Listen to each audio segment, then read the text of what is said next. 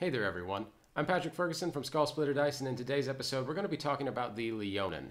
Mythic Odysseys of Theros gave us some new catfolk that are far more ferocious than their distant Tabaxi cousins.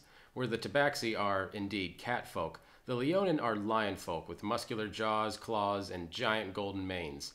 These kings of the savannah are brand new to D&D, and while they technically only exist in the world of Theros, you can expect them in a lot of other campaigns, and that's exactly why we're going to go over everything you need to know about them in today's episode. Leonin prides are close knit communities within Theros, isolated in their blasphemy. Unlike every other civilization on Theros, the Leonin have rejected the gods. They don't deny their existence, after all, it is quite difficult to ignore the deity's existence in this universe, but rather they denounce them as unworthy of worship. While there is a devout Leonin every now and again, most regard them at best as a nuisance and at worst as a cause for all of their mortal woes. Leonin are prideful and self reliant, and most have no need for gods to coddle them. In the ancient past, they served the Archons, a service that still leaves a bitter taste among other races, and they do not intend to make the same mistake twice.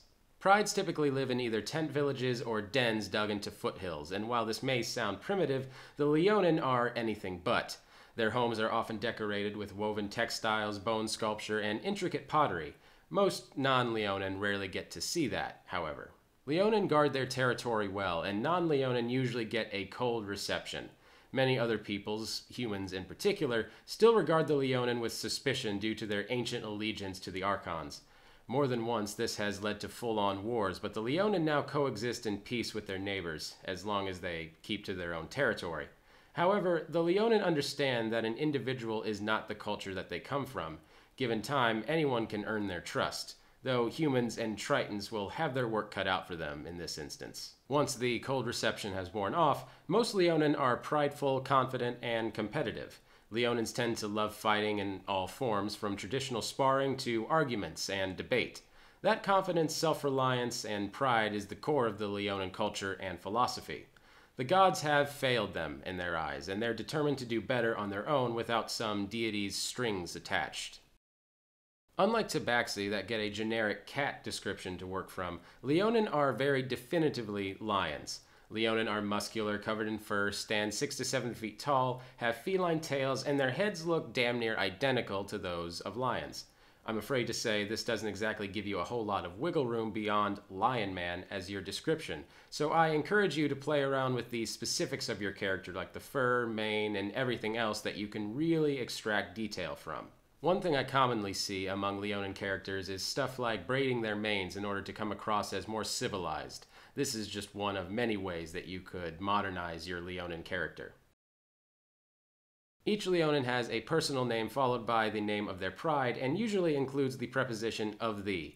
For example, a member of the Iron Mane pride named Doxia would introduce herself as Doxia of the Iron Mane.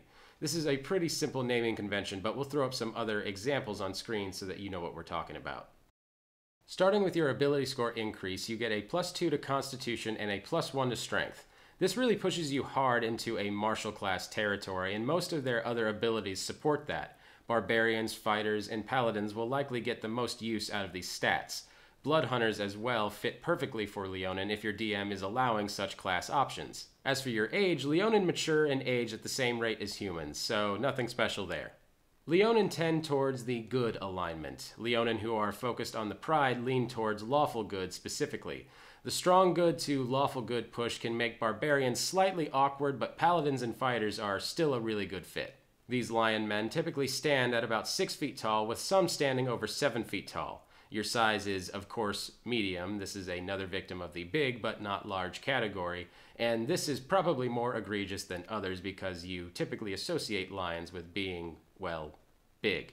Your base walking speed is 35 feet, and that extra speed stacks with other movement bonuses as well, which allows you to just zip around the battlefield to your heart's content.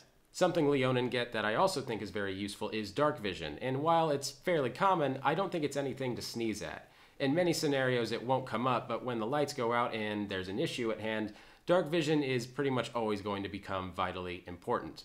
Of course, we all know that lions have their claws, and Leonin are no different. Your claws are a natural weapon which you can use to make unarmed strikes. If you hit with them, you can deal slashing damage equal to 1d4 plus your strength modifier instead of the typical bludgeoning damage that you find from unarmed strikes. They're nice to have as a backup, but just like every other natural weapon in 5e, it's not that great. Leonins also have a Hunter's Instincts, which means you have proficiency in one of the following skills of your choice, whether that be athletics, intimidation, perception, or survival. Bonus skill proficiencies are always nice and appreciated, and perception is probably the most universally useful option, but don't feel pigeonholed into just picking one. You can definitely pick whichever goes best with your class or background. Something big cats are perhaps most known for is their daunting roar. This is the core trait that sets Leonin apart from every other racial option. A 10 foot fear burst as a bonus action with a short rest recharge is pretty strong. You can ignore your allies with the effect, and since it's a short rest recharge, you'll really want to use this on every encounter that you can. That said, it's a pretty unique language to know, and there are definitely clever ways to incorporate this into your campaign, whether that be teaching other members of your party Leonin or something like that in order to send secret messages. There's definitely some way that you can incorporate this into your campaign that doesn't involve just translating for people that are talking to other Leonins. Like I always say on this show, there is no right or wrong way to build the character that you want to play, but if you are interested in playing the most optimized build for your character, these are definitely some good starting points. Starting off with the Cat Dog. Leonin Barbarians line up incredibly well with the plus 2 to Constitution and the plus 1 to Strength. That movement speed bump also stacks along with the Barbarian's extra movement, making Leonin Barbarians both extra fast and extra chunky. The one mismatch is that activating Rage uses a bonus action, as does your Roar. But all that means is that your Roar will probably just need to go off in the second round of combat as opposed to the first. I recommend taking the path of the Totem Warrior and taking the Wolf as your Totem Spirit at third level. I realize that this is a cross-flavored cat dog character now, but granting advantage to your allies in range while imposing fear, and thus disadvantage, on your enemies with the roar is a nasty combination that one really shouldn't pass up lightly. And then we have the Lion Knight. Cavalier fighters already want to tank hits and hit hard, and the plus 2 to constitution and plus 1 to strength already fits well into that tactic. All the Leonin and Cavalier abilities want you right at the forefront of combat and mesh perfectly once you're there.